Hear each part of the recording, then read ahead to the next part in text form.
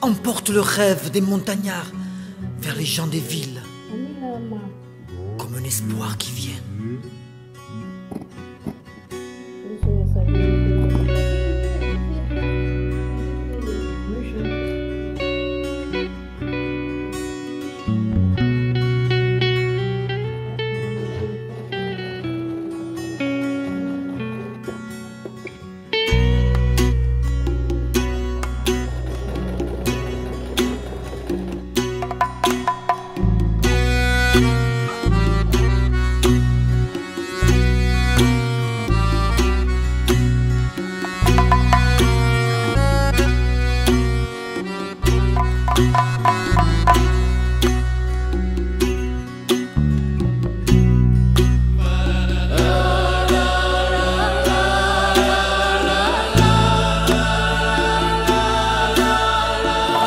hope.